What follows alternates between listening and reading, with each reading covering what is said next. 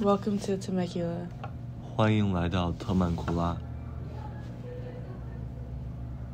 Splash pad. 飞溅垫。Painted earth. 彩绘地球。We are close to the beach. 我们离海滩很近。Vail headquarters. 维尔总部。Checklist. One of our most popular places in Temecula is Old Town. 特曼库拉最受欢迎的景点之一，老城。In Old Town, we have Penny Pickles Museum, Farmers Market, as well as the Old Town Museum. 在老城，我们有佩尼派克博物馆、农贸市场和老城博物馆。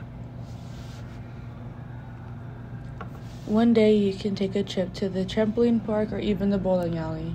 你可以选择在一天去蹦船公园，甚至去保龄球馆游玩。